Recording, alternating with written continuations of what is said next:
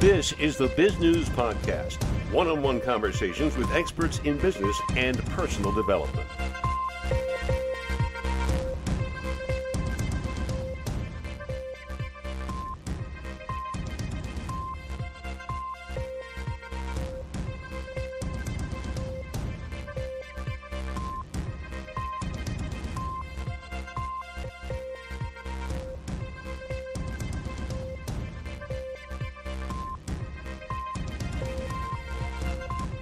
Marilyn, uh, I think we ought to get started by you telling our listeners and viewers a little bit about the background of your business, since you've been in it almost since the get go of social media and, and Google.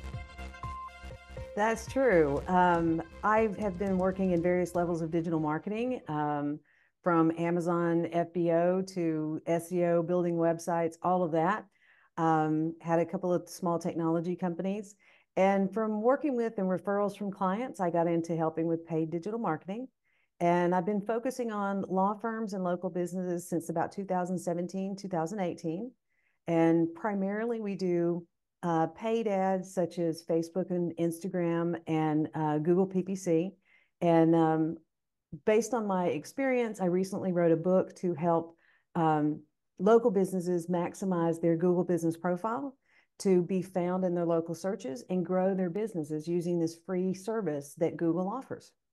Before we get into your book, and we'll do that in a few minutes, I wonder if you would uh, give us a couple of uh, instances from your work where you have found local businesses are making egregious errors in trying to use Google or social media.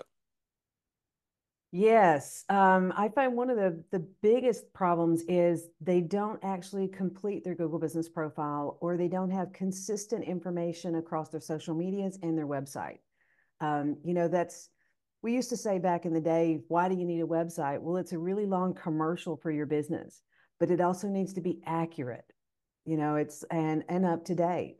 So when things change, so when I see a website that looked like it was built like in the 1990s, it's like, is your phone number correct? Is your address correct? Are your, is your team correct?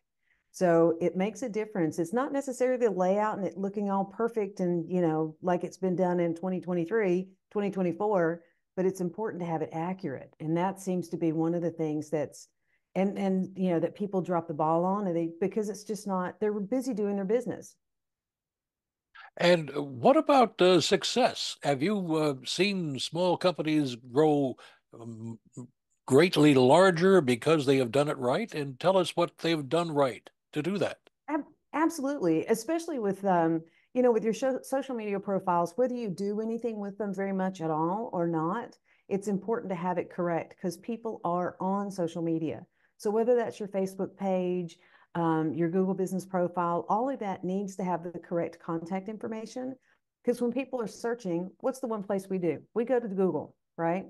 So what I've seen is I actually had a coaching client come to me and she said her phone stopped ringing about two weeks ago. And she's like, I don't know what happened. So we dove into her Google business profile and she had not updated. There was a couple of little things that just needed to be tweaked. Within 48 hours, her phone started ringing again. So it's an incredibly powerful piece of the Google puzzle that it's important for you to have because when people do a search in your local area, Google wants to show them the most most valid points that they're looking for, you know, the most relevant search result. And if you're it, you need to have the current information there, even your hours of service. What uh, what got you into this business? Um, a referral from a client. I was doing, like I said, websites and and working with uh, website marketing and um, just clients asking me to do more. And so it's just got to be a real passion to help small businesses get out there and get their piece of the pie. And as Google, a lot of people don't realize the Google business profile used to be called Google My Business. And that's what they know it as. And that was uh, a couple of years ago, it was rebranded and expanded to have so many other features to it. And I think that's so coming to, you know, seeing the the whole realization of SEO used to be this uh, search engine optimization used to be this mystery and it took so long to happen and it still takes a long time but if you do SEO focused on your Google business profile, it will happen a lot faster.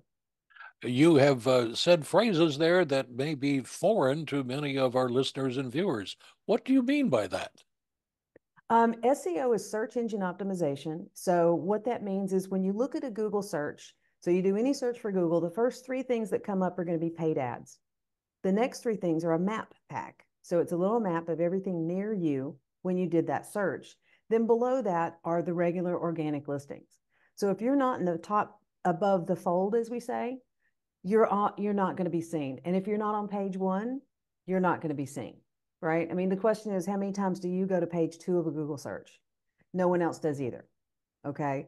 So when it comes to the map pack, you want to be one of the top three. So say someone's looking for a plumber near me.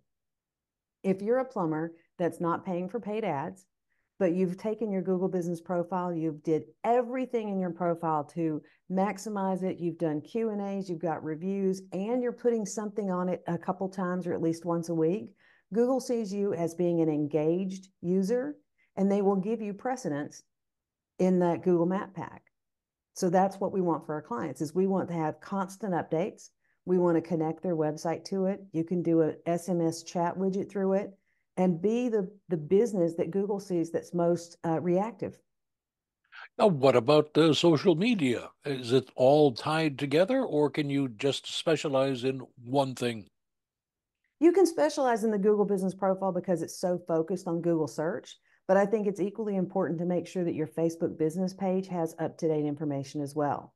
Remember, those are the two biggest sites on the internet right now that, that people are visiting and searching for information. And uh, essentially, they are free to the business, are they not? That's correct. And That's so we correct. we don't have to uh, shell out a lot of money for advertising. That's correct. Exactly. And the Google Business Profile, uh, different from the Google My Business, has a position where you can do posts, so you can do short articles. So it's very much like a website, but it's not, right? Um, the Q&A section is huge. So if you say you have the same customers have, new customers have the same five questions, you can make that your Q&A section of your Google Business Profile. You're educating and giving value before someone picks up the phone and calls you. It sounds like an awful lot of work if I'm a, a plumber or a baker or something like that. How do I carve out the time to do it and why would that be important? It's important because you can see where people are coming from and you can do it in as little as 10 minutes a week. So pick one thing you want to do this week. I want to add a video or I want to add a photo of, say, my truck at a location or a new service that I'm offering in my business. So you can add that one thing. And by doing one thing every week, Google sees you are engaged with your Google business profile. And the other thing is your reviews. You should respond to every review. Good or bad? Good or bad. Well, that would be very interesting for a lot of people, I think, to see some of the responses for uh, bad uh, reviews, if you would. Well, true, but think about if someone's just having a bad day and they left you a bad review, your pro- your professional response to that will be read into by the people that are reading your reviews before they call you. Now, let's talk a little bit about your book. What is the name of it? The Google Business Profile Training Guide. What could that possibly be about?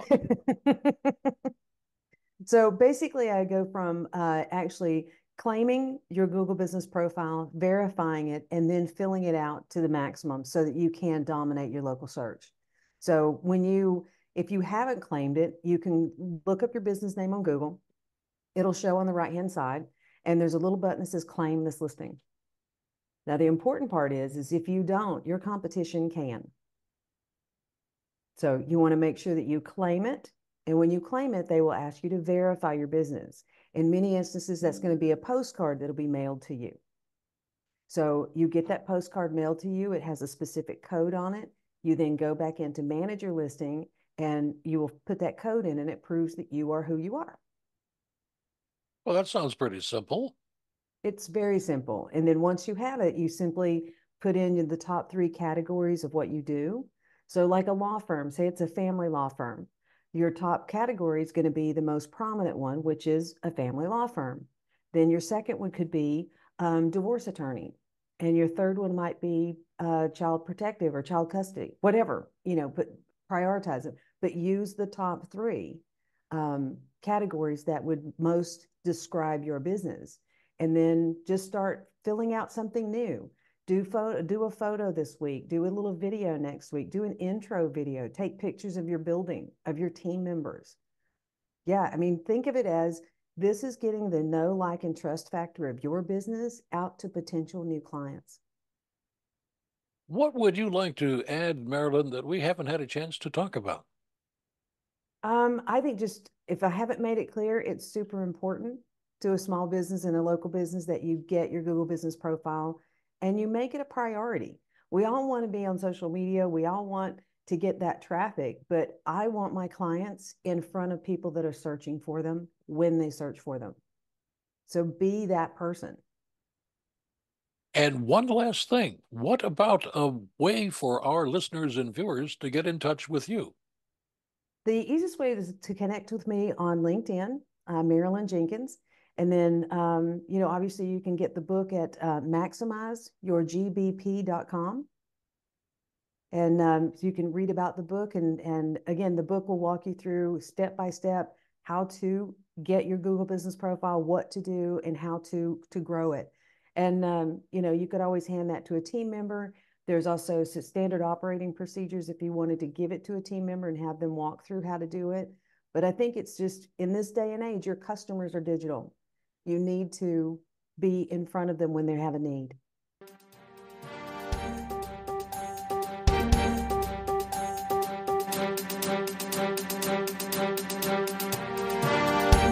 You've been listening to the Bizgnus Podcast. We welcome your input.